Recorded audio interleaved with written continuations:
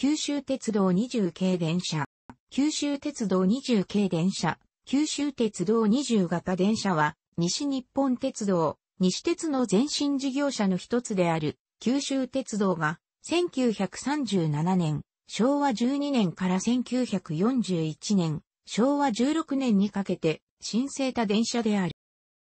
制御電動車は後年も200型と形式を改め、西日本鉄道に継承された後、晩年は天城線専用車両として運用された。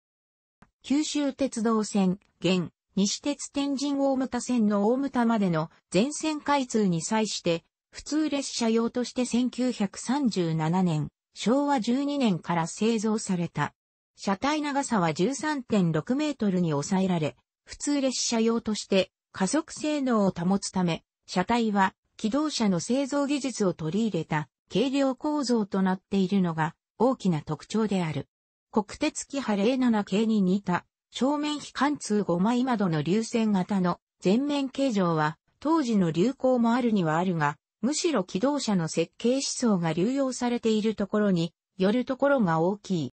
電動車。1937年、昭和12年にも21から30の重量が、汽車製造東京支店で製造された。1940年、昭和15年200系201から210に改版された後、翌1941年、昭和16年にも211から216が製造された。続いても217から220の4両を製造する予定であったが、伝送品の不足から伝送できず、制御車として製造された。製造当初は両運転台であったが、1952年、昭和27年以降、編成単位の大単一化により、順次変運転台化や中間電動車化、連結面の貫通化などが実施された。また、同時期に空250型が伝送され、も200型に編入された、口述。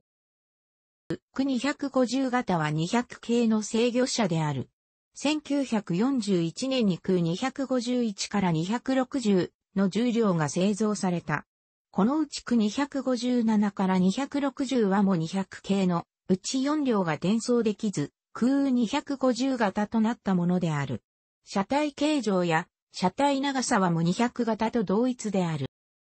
区254.257から259は1952年から1955年、昭和30年にかけて電動車も200型に改造され、区258も217、区259も218、区257も219、区254も220となった。同時期に残りの6両は運転台を撤去して付随車差250型に改造され、差251から253.255-256.260となり、両端ともに貫通路が設けられた。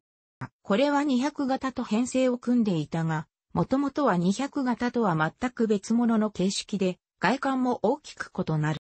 元は1934年、昭和9年に日本車両で製造された博多湾鉄道汽船、後に JR カシー線の機動車、ガソリンカーキハ1から4である。博多湾鉄道汽船が九州鉄道他と合併して西鉄が発足した後、1944年、昭和19年に大川線に移り、キハ101から104と改版したが、大川線の休止により1947年、昭和22年より、大牟田線転入し、電車化され制御車、区60系、付随車、差60系となった。改造、改版の経緯は次の通りである。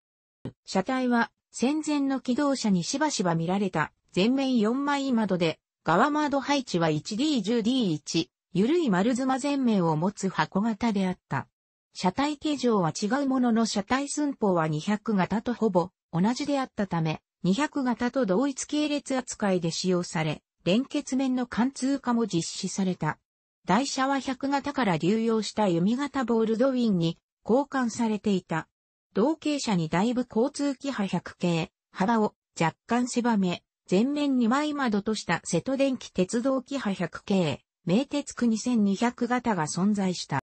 製造当初は福岡大牟田間で使用された。1945年、昭和20年8月8日、宮の陣駅付近と筑紫駅の2カ所において、それぞれ200系の列車が米軍機の機銃操車を受け、前者は数名の乗客が死傷し、後者は同じ現場の他の列車と合わせて64名が死亡、100人強が負傷した筑紫駅列車空襲事件。戦後の1948年、昭和23年から1500ボルトに昇圧された天城線でも使用されるようになった。